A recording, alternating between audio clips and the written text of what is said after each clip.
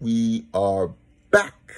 Another week is done. Whether this week was amazing or not, or the opposite, it really doesn't matter. What matters is what is your perspective about what happened this week. There is always beauty in every ugly situation. It is our job, it's your job to find out what that is and go to another level.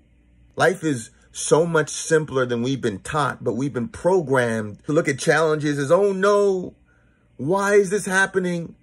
Instead of asking ourselves, what am I learning? What am I supposed to learn from this? You're not a victim to anything. There's there's nothing that's ever happened to you that has that can cause you to be a victim. Period.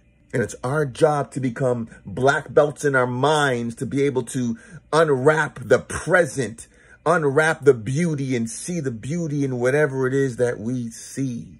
Find the beauty. Go to another level. Rinse and repeat.